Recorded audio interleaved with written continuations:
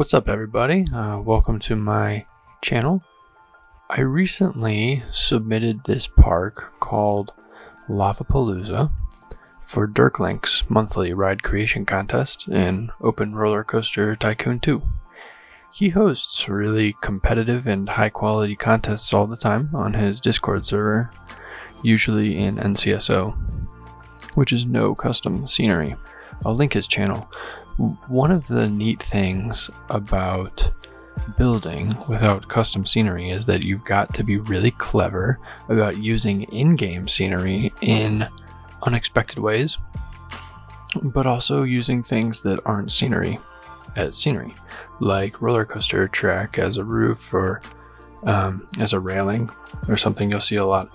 In this little park, something really cool is that the name of the park Lavapalooza, and the sort of ominous tagline, Eternal Tourist Trap, are written in the sky with roller coaster track pieces.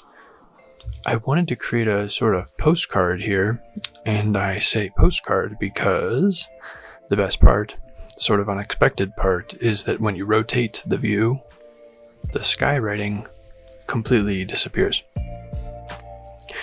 Now, in this video, I will show you how I made this, uh, show you how you can make this, and then I'll do a quick, rather simple demo of what building this type of 2D art looks like.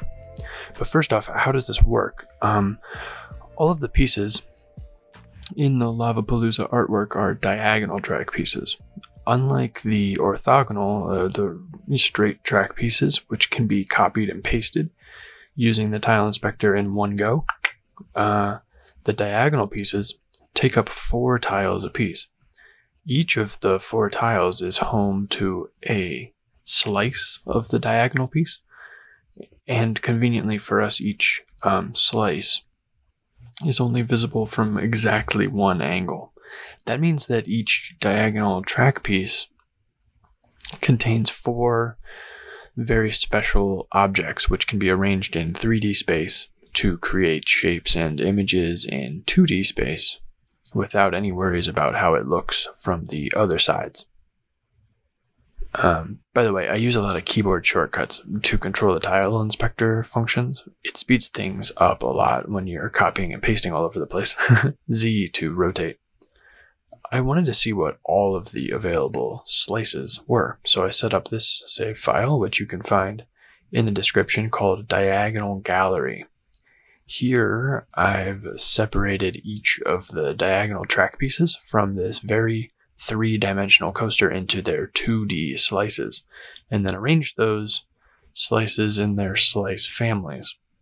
This is useful for seeing all at once what graphics the game has. Um, right now, we're looking at all of the diagonal sprites for a steel coaster, but with the cheat enabled, um, I can change the ride type to something arbitrary, like a wooden coaster. Uh, you'll notice that not all of the pieces are available anymore. That's something that's especially noticeable for the monorail. For example, um, I made a spreadsheet of what pieces are available from what types. Uh, although, if you're experienced in the game, you might already have a feel for what these limitations are. Of course, separating these out is really tedious. Um, the pieces are useful, but it's really tedious. So I made a great big bench, and it's kind of like dumping out and sorting all of your Legos. Remember, these are completely invisible from three of the four angles. And yeah, so this isn't every ride type, but I spent quite some time figuring out what the best starting palette should be. And I say starting palette because in addition to being able to change any of the colors, you can change any of the coaster types really easily at any time. It's easy that way to customize my bench into one that contains your favorite coasters if you want. Um, just don't use the monorail slots for a wooden coaster, for example, because you won't get all your track pieces.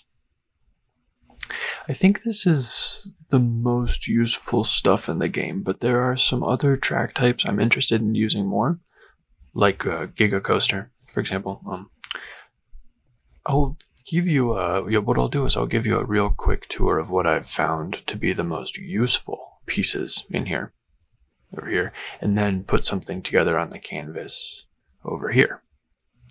And uh, yeah, I'll start with these guys.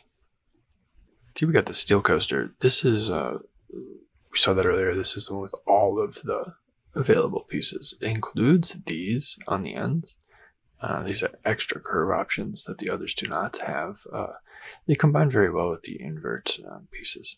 So you can get things like uh, combining these lines together to get a whole bunch of different patterns and things. Uh, some really thick lines, um, that kind of stuff. And then together their curves work for outlining a lot of shapes and things. You can get very creative with that. Um, of course, I want to draw attention to these very unique shapes. Um, between the two of these groups, the inverted and the steel groups, um, these guys are really useful and um, for details and things. I use them for flowers in my lava entry. Then we have, uh, I'm not going to spend too much time on these. Uh, yeah, I'll dig in deeper probably in upcoming videos um, once I have a little bit more put together to say. But in the wooden coaster, there's this guy that's a bit blocky, um, fills a lot of space very quickly. But you'll notice with a lot of these pieces, the colors are rarely exactly what you want. And now with these um, as space fillers, these blocky pieces are very dark. Um, so I actually found that a better alternative for filling space. Well, maybe not better, but different um, for different situation. Alternative for filling space is to use these guys. Um, and they are much smaller, but they stack great. And if you uh, zoom out, zoom in, it all looks great. Uh, you can get a very consistent color. Wooden coaster is the way to go for filling space. I, I, I gotta say. If you included the mini roller coaster, and that might seem random, but the mini roller coaster has what I'm convinced is the smallest piece available, which is these little dots. I love that. They also have the thinnest steep pieces. The steep pieces are somewhat rare, really, um, and you don't always want to use like an invert steep piece. Um, these are pretty thin. Basically, we got the same thing in a bunch of different varieties of thickness. Monorail is the thickest uh, suspended monorail, mini suspended coaster, steeplechase is last. Um, it's good to have as another option. It's also very thin and uh, also has this uh, texture. Yeah, well, at any rate, I think one of the best and uh, most simple uses for this technique, um, which I'll show you right now, is writing text in the void above or around your finished park for a title or name or something like that. Um, I'll show you how using a really simple font, uh, and I plan on posting a video soon specifically about this font and uh, potentially more fonts. Uh, you only need five pieces to do the whole alphabet this way, uh, and we only need four for what I'm building here. Uh, I'd like to build this with the monorail, but any of the stick-like ones will work just fine. These are our four pieces we need. And the first step is to take these pieces over to the canvas. Um, that way we don't have to scroll across Kingdom Come every time we want to copy and paste something. Okay, to stay organized, I mark the land where I'm placing my pieces. Because once they're floating up in the air, it's impossible to tell what the footprint of your creation is, and I think that's really good to know.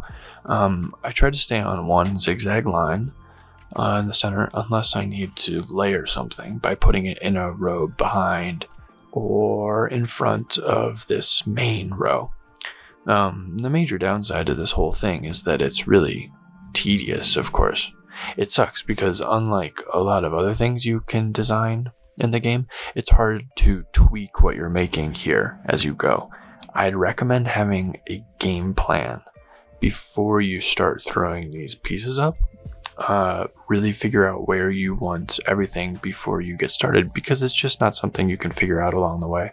Um, right, but uh, yeah, and uh, there we have it.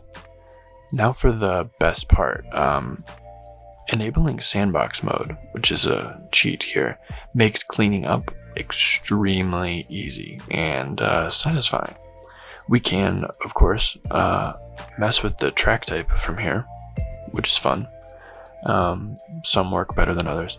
Uh, I think there's a lot of potential for innovation here. Uh, thanks for watching. Be sure to let me know if you have any questions, of course, and look out for more videos coming soon. see you.